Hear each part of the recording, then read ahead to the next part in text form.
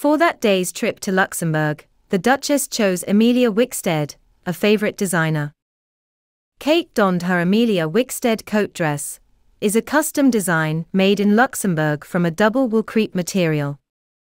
The dress has the fitted bodice, full skirt, set in waistband, peak lapels, and long sleeves that the Duchess loves so much. The material has a strong resemblance to one of the designer's pieces from the A. W 2017 collection. Kate accessorized with a pair of trench colored LK Bennett Fern shoes, $345.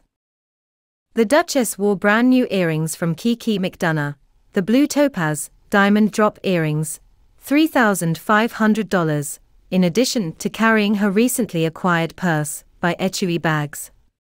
We appreciate Royal Romance's quick identification of the earrings. You can see how much Kate's hair has grown out since we last saw her by looking at this picture. Just a short word regarding Princess Stephanie's attire. It is Paule Ka's satin back crepe dress, $7.10, a euro 6.50. The dress is made of a triacetate and poly combination and is also available in black.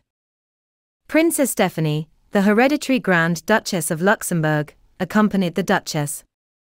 Kate began her tour at the Grand Duke Jean Museum of Modern Art, Mudam, Mudam Luxembourg, where six year old twins Gabriel and Charles gave her and Princess Stephanie flowers. Aren't those two adorable?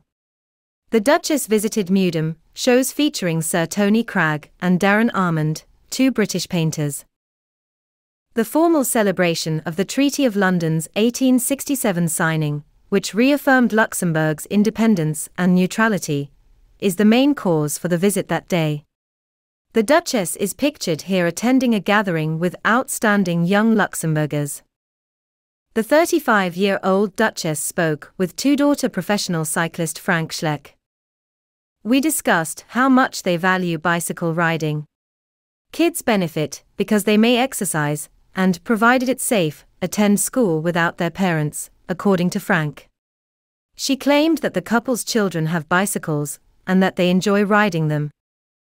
She had a peek at the jerseys that kids had painted for the July visit of the Tour de France to Luxembourg. At the Grand Ducal Palace, the Duchess was photographed with members of the Grand Ducal family. Princess Alexandra, Grand Duke Henri, the Duchess, Grand Duchess Maria Theresa, and hereditary Grand Duke Guillaume are pictured from left to right. The Luxembourg City Museum, which recently unveiled a new exhibit centered on Luxembourg's history, hosted the ceremony commemorating the signing of the 1867 treaty. As part of the celebration of the treaty signing, the Duchess and representatives of other nations sing for an official portrait. They are Germany, Austria, Belgium, France, the Netherlands, Great Britain, Hungary, Italy, and Russia. A UNESCO World Heritage City, the Corniche of Luxembourg's Old Town was visited by Kate and representatives from other nations. The most beautiful balcony in Europe, according to some, is the Corniche. I hope you find this video useful. Thanks for watching.